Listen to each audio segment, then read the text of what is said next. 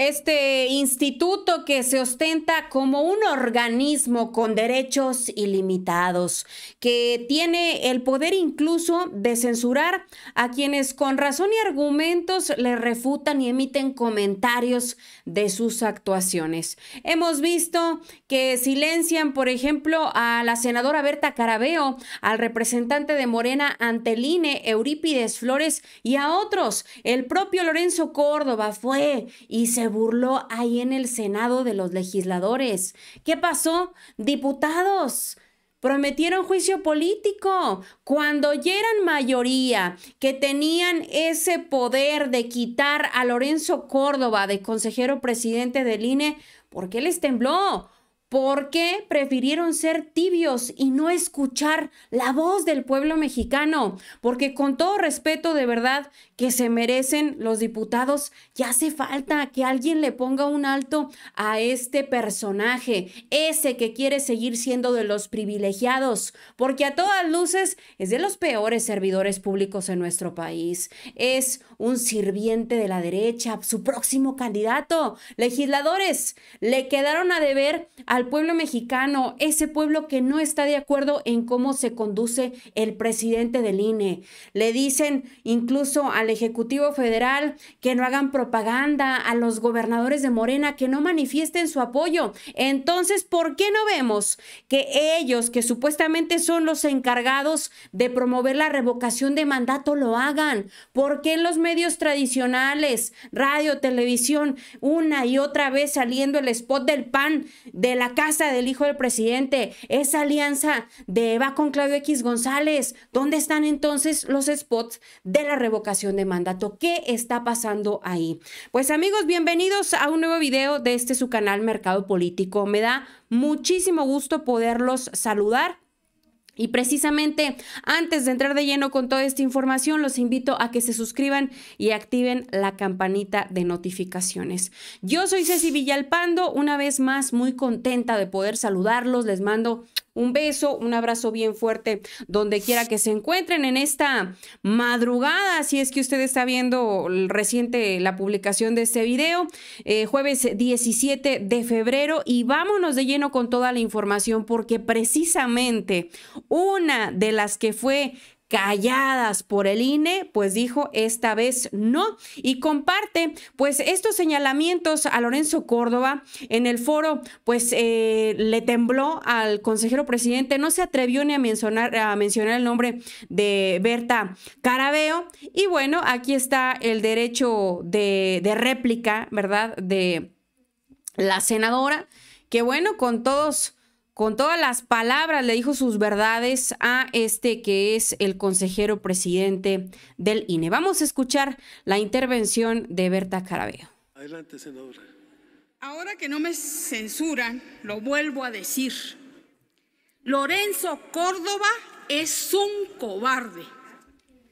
El día 8 de febrero, en el foro Reforma Política, el consejero presidente del INE se refirió a una senadora de Chihuahua, aludiendo a que dicha senadora había declarado que el INE estaba preparando el mayor fraude electoral de la historia a través del voto electrónico. También declaró que, y cito textualmente, unas pocas urnas electrónicas no son de relevancia para un eventual fraude y que son más confiables porque ya fueron probadas con el voto migrante. En mi legítimo derecho de réplica daré contestación a cada una de estas falsedades bajo las siguientes consideraciones. Primero, les pregunto cuántas senadoras de Chihuahua conocen. Solo hay una y aquí estoy para dar la cara y defender nuestra democracia con la Constitución en la mano. Y aquí está, señores. Segundo, como lo sostuve y sigo sosteniendo, el tema de las urnas electrónicas y su uso tiene que pasar primero por la aprobación de este Pleno en una reforma que en todo caso eleve este mecanismo a rango constitucional.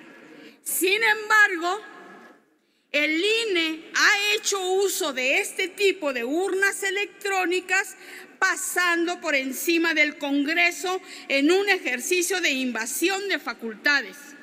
¿Qué Se siente más que los poderes eh, el INE, pues bueno, ahí está parte de esta información. Usted eh, emita su comentario que con gusto lo voy a leer. Porque bueno, ¿qué pasaba el día de ayer? El INE eh, daba a conocer un boletín ordenando efectivamente a la propia jefa de gobierno capitalino, a los demás gobernadores de Morena, bajar de sus redes sociales este manifiesto que hacían pues de solidaridad, de apoyo al presidente Andrés Manuel López Obrador. Y así respondió la doctora Claudia Sheinbaum. El INE ordenado como medida cautelar borrar de las redes sociales la publicación del 13 de febrero.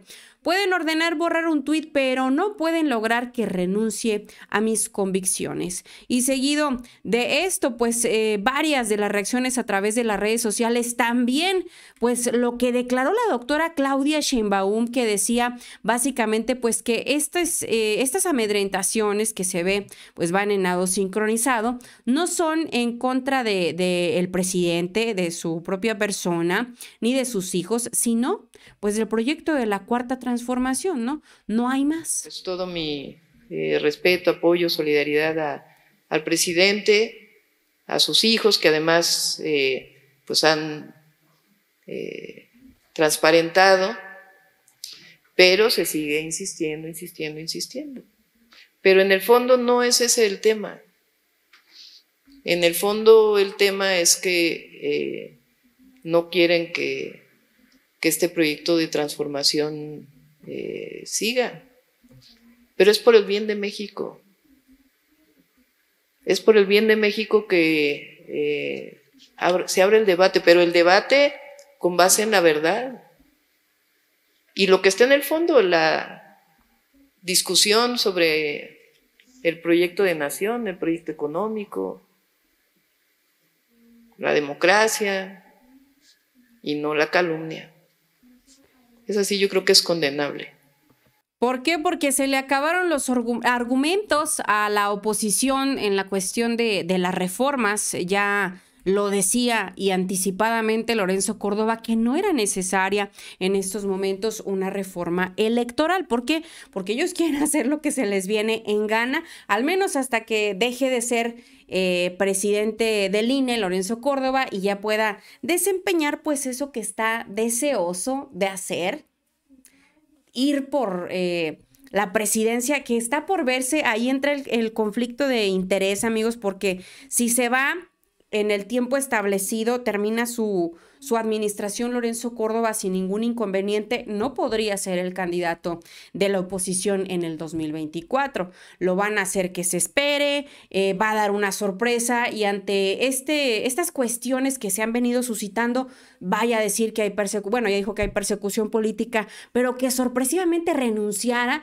se despegara del cargo, probablemente le alcanzaría eh, para contender por la presidencia. Pues bueno, por su parte, Sergio Gutiérrez Luna decía, en mi calidad de presidente de la Cámara de Diputados, he solicitado a Lorenzo Córdoba que el INE deje de hostigar a diputados que desempeñan su función con un alto compromiso democrático. Todo esto porque no solo es la cuestión de la reforma eh, de la reforma eléctrica, la revocación de mandato y esto que notificaban a los gobernadores. Miren, por ejemplo, Marina del Pilar dice, el INE notificó que deberíamos bajar el mensaje de las y los gobernadores de la cuarta transformación. Esta acción inhibe la libertad de expresión y violenta la democracia. Hoy atendemos este llamado para cumplir con el ejemplo, pero nuestros ideales se mantienen firmes, que supuestamente pues es lo que mandata la ley y tienen ellos que acatar. Pero mire, eso era la cuestión de la revocación de mandato.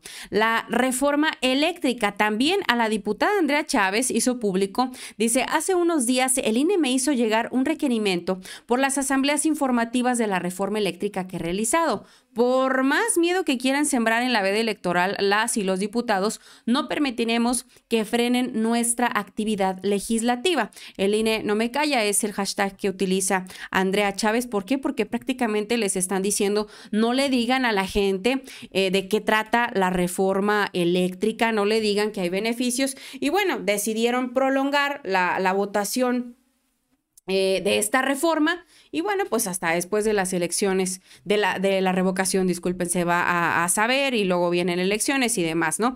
Aquí escribía a Mima, ¿creen que el INE México nos sancione si hacemos tendencia a la hermana de Xochil Gálvez? es privadora de la libertad. Dice, bueno, por el asunto del derecho de réplica, ella está pegando fotos de José Ramón. Nosotros también podemos publicar, pues, fotos de su hermana ahí detenida por esta cuestión, ¿no? Aquí la nota decía, capturan hermana de Xochil Gálvez por privación de la libertad. Pues ahí está, amigos, parte de la información al respecto. Pues su postura es la que me gustaría conocer porque evidentemente la las redes sociales, este, ay, perdón, las redes sociales le dieron cátedra, es que iba a ponerles esta nota, una disculpa, me anda ahí fallando un poquito la cuestión técnica, ya ven que tuvimos muchos problemas en la cuestión del sonido, me decían Ceci, ¿qué está pasando? Pues bueno, al parecer ya lo arreglamos, pero bueno, quería mostrarles esta nota donde dice, siguen sin entender que el pueblo no se le puede censurar.